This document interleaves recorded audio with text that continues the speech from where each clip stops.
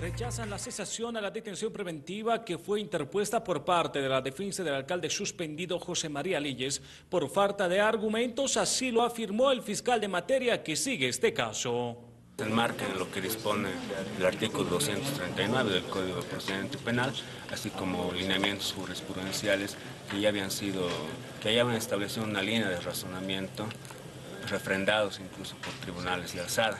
Entonces, esta, esta negativa de la solicitud de cesación evidentemente puede ser apelada por el imputado, pero en tanto suceda esto, él tiene que retornar a cumplir el régimen de la detención preventiva en el penal de San Antonio. Por su parte, al momento de salir de la audiencia, el alcalde suspendido José María Leyes se dirigió a los medios de comunicación donde anunció que este próximo miércoles convocará a una conferencia de prensa a los medios de comunicación.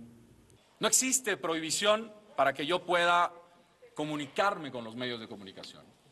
Es un derecho, además, el cual tengo he pedido la autorización para hacer una conferencia larga, porque hay mucho que hablar, hay mucho que decir.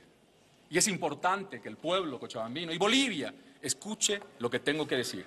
Con relación a este tema, el fiscal Arellano ratificó que la autoridad suspendida no puede dirigirse a los medios de comunicación ya que se encuentra con una detención preventiva. Nosotros vamos a ser fieles eh, respetuosos de lo que ha sido determinado por la autoridad judicial.